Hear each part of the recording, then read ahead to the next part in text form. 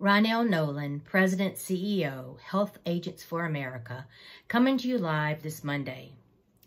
Now is not the time to panic. However, I did yesterday.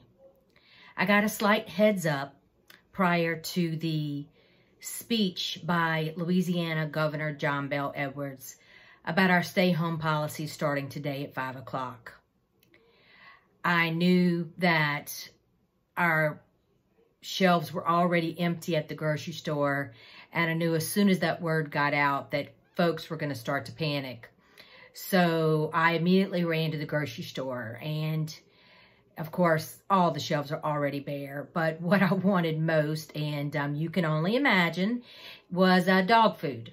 So I was able to get um, a bag of dog food and a couple of cans of dog food to last for a while until the grocery stores are able to continue to replenish their uh, shelves. The governors, of course, said that grocery stores, pharmacies, um, folk, essential folks will still be open, but regardless if they're open, it's whether they have anything on their shelves. I do not have the most accurate, up-to-date uh, states on who are requiring you to work from home. Um, HAFA just asks you to adhere to the social distancing, stay away from the elderly and those with compromised immune systems. Uh, one of my study group partners said it the best, you know, it might not be us, but it could be us bringing it to our loved ones. And that's why it's important that we remain away from those that could be affected. We know how to adapt. You can work from home. You can forward your phones. You can service your clients. We are tough and we are mighty and we are the HAFA tribe. As I reported Friday, the Blue Cross Association asked the president for a special enrollment period due to the virus. At least nine of the state exchanges have already implemented the SEP. I received calls from a few of you who said I was on a CMS call and CMS said we're absolutely not having an SEP.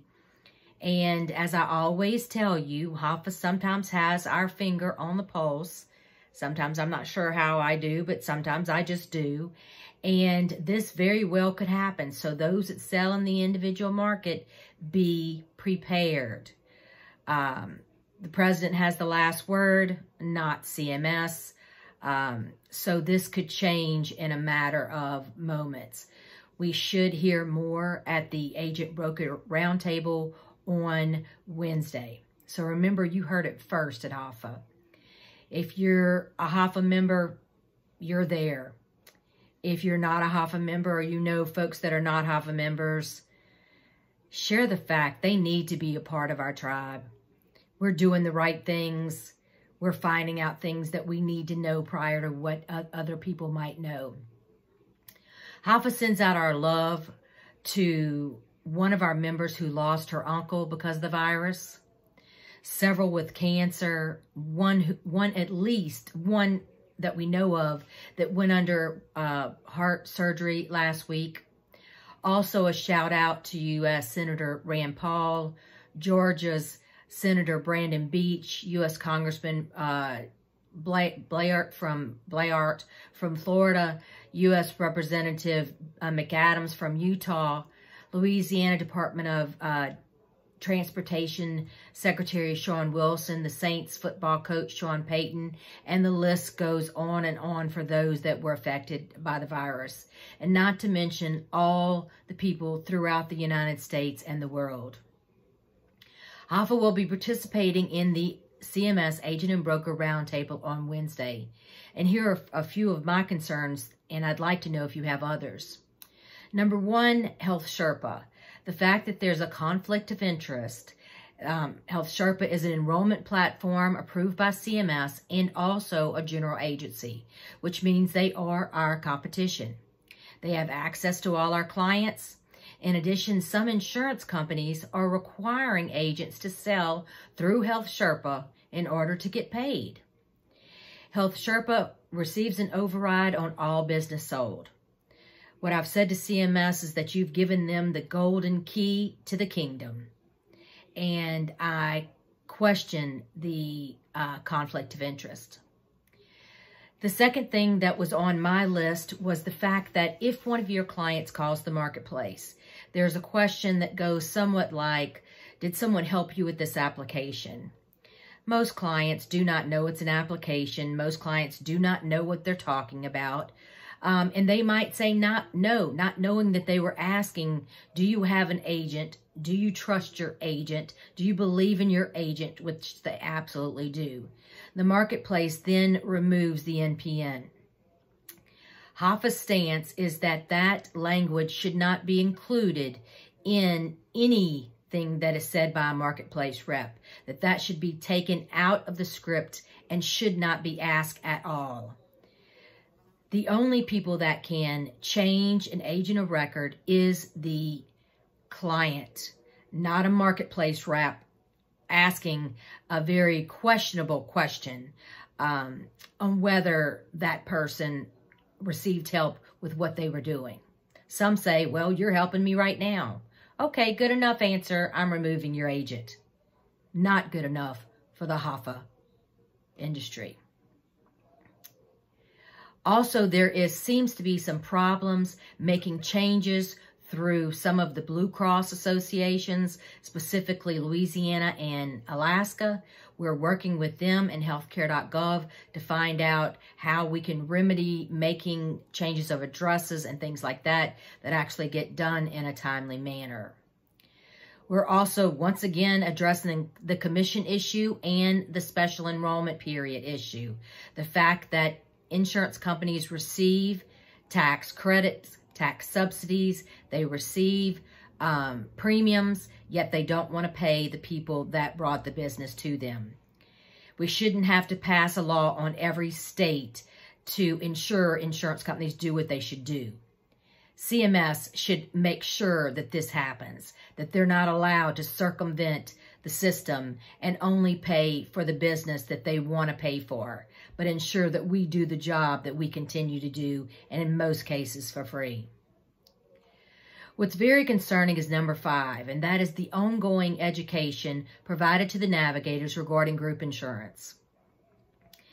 If you receive their newsletters, you'll see they're still getting webinars and information talking about group insurance, how to talk to groups about insurance. They are not educated. They're not licensed. They're not insured. They should not be selling group insurance.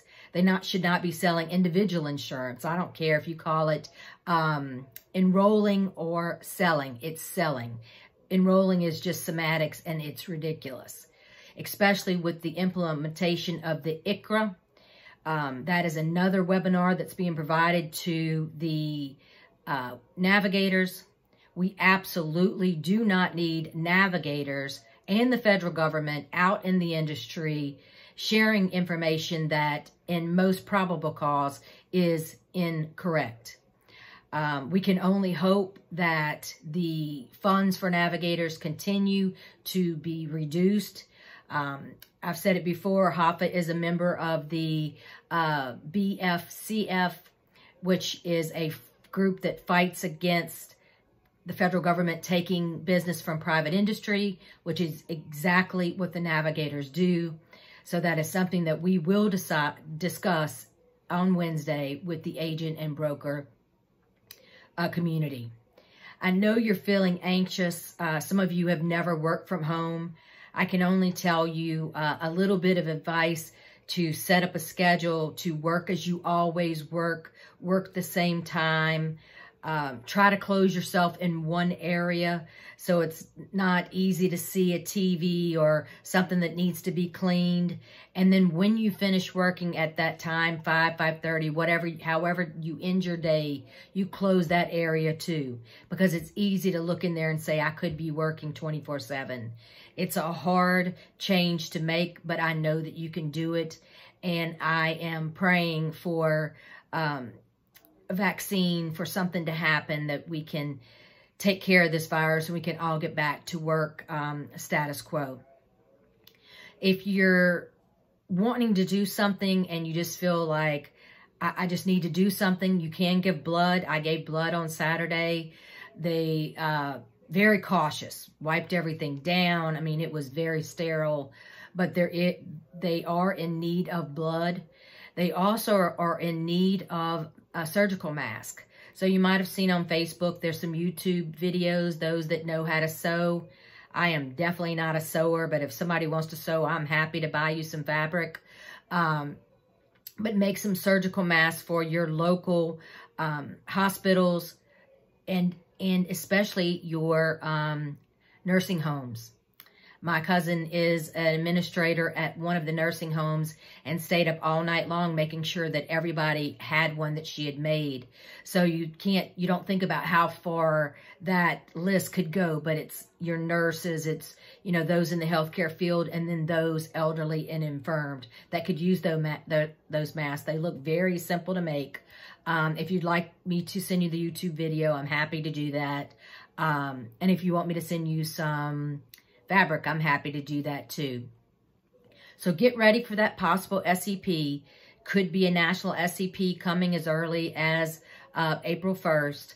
A big shout out to those birthdays in March and April that are going to have to settle in place like me.